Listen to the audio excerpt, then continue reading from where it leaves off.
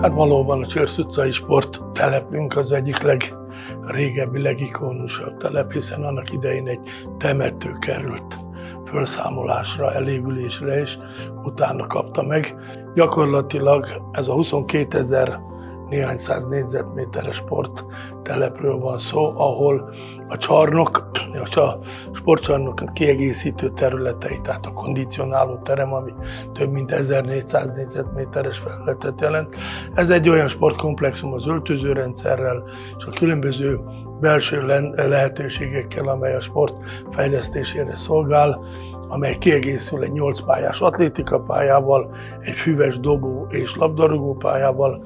ami mindkettő célra használható lesz, és a nyolc pályába pedig a nemzetközi minősítésű rekordtán kerül, ami egy gyors pályát föltételez, és a megfelelő technológiával, amely hozzáteszem a sporttudományos méréseket is támogatja. A mi részünkről pedig az építési idő betartása miatt május 31-e van meghatározva az átadásra, és a túloldalon pedig nem még két dolgot említenék, meg egy műfüves labdarúgópályát és néhány két darab teniszpálya, amely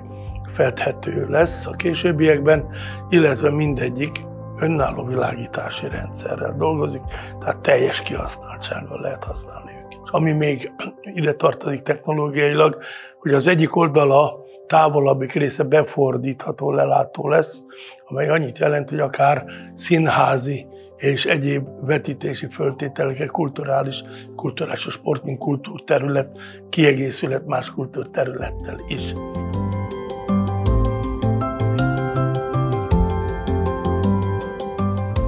27-30 százalékát tudja teljesíteni a Testnevelési Egyetem oktatási, sport, oktatási, képzési gyakorlati színtereinek. Tehát ugyanilyen komoly munkát kell kifejtenünk, vagy még nehezebb föltételrendszerben most a háború és a gazdasági helyzet miatt a második fázis realizálására, hiszen nagy és gyönyörű a létesítményrendszer, az oktatási képzési anyag mindössze 30%-ára lesz alkalmas.